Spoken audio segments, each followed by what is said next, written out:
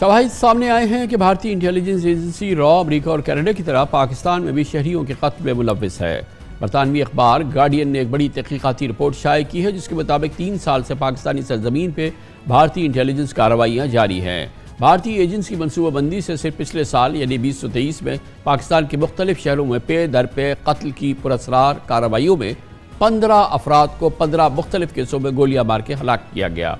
Report के मुताबिक बीस सौ बीस से अब तक पाकिस्तान में बीस लोगों को कत्ल किया जा चुका है। गार्डियन की रिपोर्ट में कहा गया है कि इन हलाकतों की मनसूबाबंदी Indian intelligence agency sleeper cells ने की, जो किसी दूसरे मुल्क से ऑपरेट कर रहे थे। रिपोर्ट के मुताबिक बीस सौ तेईस में इन कार्रवाइयों में इजाफे की वजह स्लीपर सेल्स की बढ़ती हुई सरगर्मियाँ हैं। भारतीय इंटेलिजेंस एजेंसी ने अपने हदफ को कत्ल कराने के लिए पाकिस्तान में मकामी मुजरमों या अफगान शहरियों को लाखों रुपए अदा किए। अहदाफ हासिल करने के लिए गरीब पाकिस्तानियों और जहादियों को भी वर्गलाया गया। उन्हें यकीन दिलाया गया कि वो दुश्मनों का सफाया कर रहे हैं।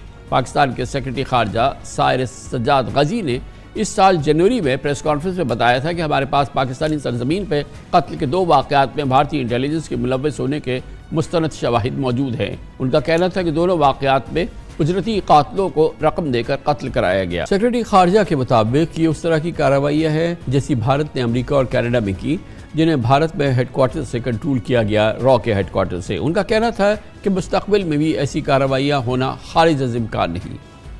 पाकिस्तान से पहले अमेरिका और कनाडा दोनों अपनी सरजमीन पर इंडियन एजेंट्स की जानब से कत्ल की कोशिश करने का इल्ज़ाम लगा चुके हैं।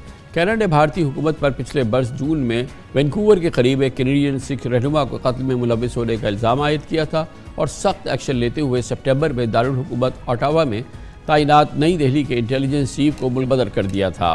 इसी तरह पिछले साल नवंबर में फाइनेंशियल टाइम्स ने खबर दी थी कि अमेरिका ने अपनी सरजमीन में एक सिख अलहदगी पसंद रहनुमा को कत्ल करने की साजिश नाकाम बना दी है और नई दिल्ली के इस मनसूबे में मुलविस होने पर भारत को भी तब्दी की गई है।